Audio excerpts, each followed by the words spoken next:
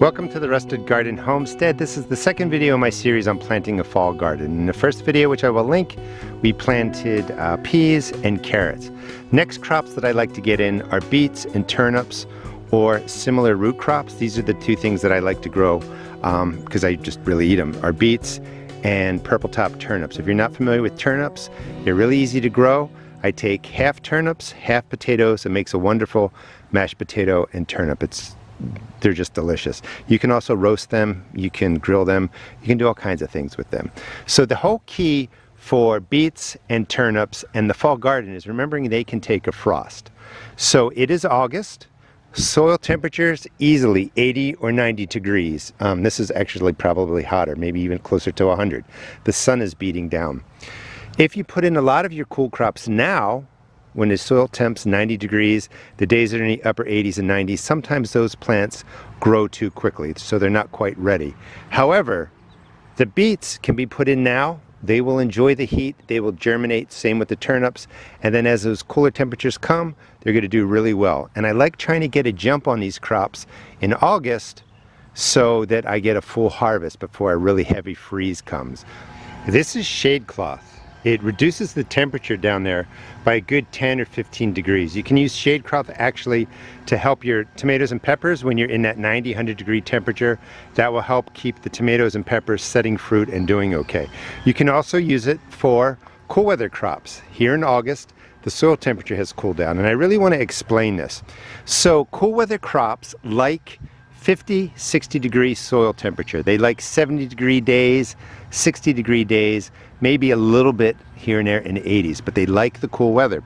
The reason you can't grow your cool weather crops in the summer is they're just not going to de develop what we want. Your lettuces, your spinach may just grow a couple of leaves, then they set out a flower stalk and try and create seed.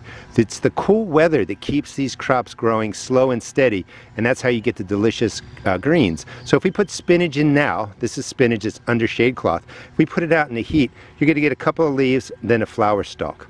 So we're going to time the spinach and these leafy greens later in August when they germinate quickly because the soil's a little bit warm but I have that cool temperature starting to roll in. It can be a little bit confusing. Like these are radishes that I put in three weeks ago. There are no radish bulbs. Great green growth but even with the shade cloth, just the day temperatures are too warm and I'm not getting the radish bulbs. So it was a little bit too early for these.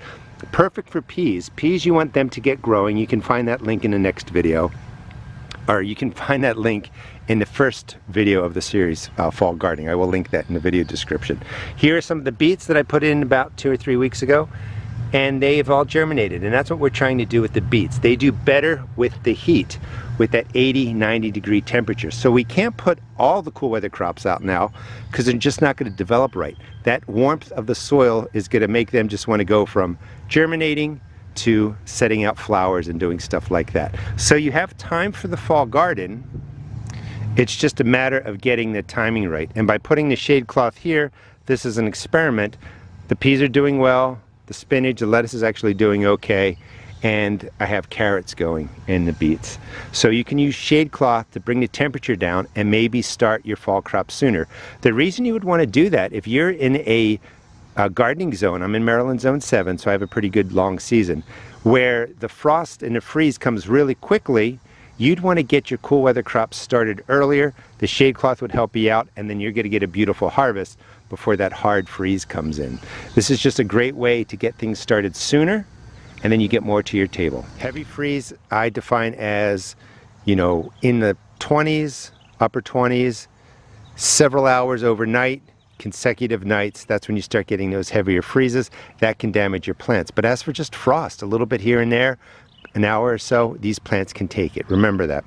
If you're in a zone, I'm in Maryland Zone 7, where it's in the upper 90s, you may have to wait a couple weeks before you can do this, but you can follow this series along and adjust accordingly. So the beets are good to go into here, the turnips are good to go into here. If you have compost, you'd put down one or two inches of compost, work it into the top couple inches of soil. A lot of people don't have that. So I just use any organic granular fertilizer. Um, as long as N, P, and K is represented, you're perfectly fine. And then I just scattered in just like that. There's a lot of nutrients in here already from everything that you did during the spring and during the summer. We will water these in with a water-soluble fertilizer. Please subscribe. I'll show you how to take care of these plants. But for the first step, organic granular, just like you saw it. We'll mix it in. This will slowly feed the plants over the next several months. So next I'm going to take out the weeds, loosen this up, and then I put in finger holes. Maybe put beets maybe this far apart. Um, purple top turnips a little bit more. You don't need to be exact. Uh, finger holes will be about a quarter of an inch to half an inch. These plants will do really well. You'll like growing these types of root crops for a fall garden. All right, let me set this up. One of the keys for your fall garden is really trying to time it right so the heat of August doesn't really accelerate the growth of your plants and then instead of producing roots or the crops you want, they produce flowers. So for beets, just so you can see, these are beets that I planted in the spring. Um, then I did a second wave around June. This is what's left from June and you can see the different sizes. General spacing. I don't over worry about spacing. Um, it's kind of overrated. You just need a good space. So finger hole, finger hole. Here's a pack of seeds so you can get an idea of what the spacing's like. You just don't have to be exact. Each hole has a beet in there. I did some of the golden Detroits and some of the standard delicious dark red beets. A lot of people don't know your beet seeds are actually a pod, so there are multiple beet seeds in there. You can thin them down to one, but I've done some experimenting where you can leave two beets coming up in a hole. They'll just push, push each other to the side, and then you can harvest one and then let the other one get larger.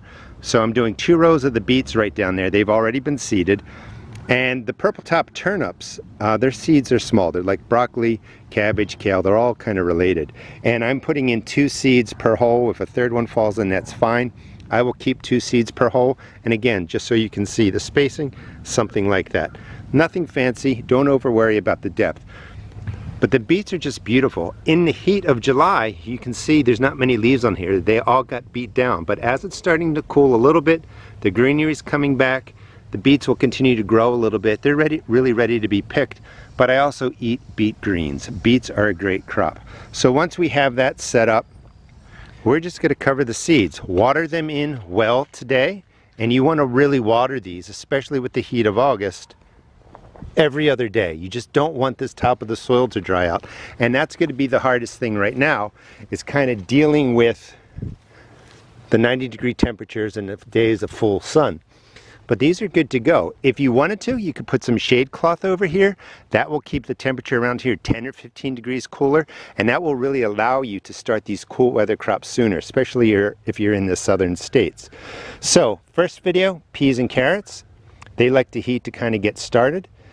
Beets, turnips, they can enjoy the heat too also to get started, but they, they're pretty resilient, can manage the higher temperatures. So that's usually the next wave of crops that I get in.